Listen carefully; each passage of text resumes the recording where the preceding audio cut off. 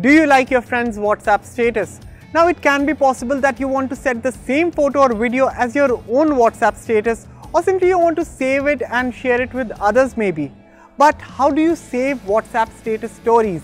And that too when after 24 hours the media file gets deleted on its own. Now you can still save a photo by taking a screenshot of it but how do you save a video? So I'll tell you about a way with which you can save anyone's WhatsApp status. After that you can set it as your own or share it with others. The choice is yours. Now before we begin with the video, I urge all our viewers not to download anyone's personal photos or videos. And even if you do so, then please make sure to ask for that concerned person's permission first.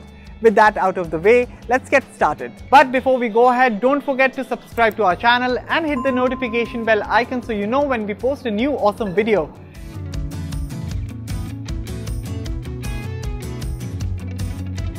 First of all, you need to go to your Android phone's file manager. Now different file managers have different options to access settings within them.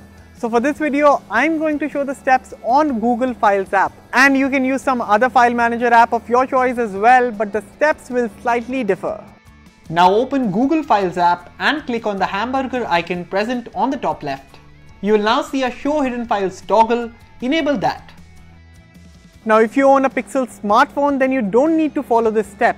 Instead, on your Pixel device, click the three dot icon on the top right and tap on Show Internal Storage. Now open your phone's internal storage, look for the WhatsApp folder and open it. Inside that, click on the Media folder and next open the Dot Statuses folder. Over here, you'll find all the WhatsApp status stories that you must have checked on your phone. Now select your desired file by long pressing on it. From the options, select Copy and paste the file in any folder of your choice in your phone's internal storage.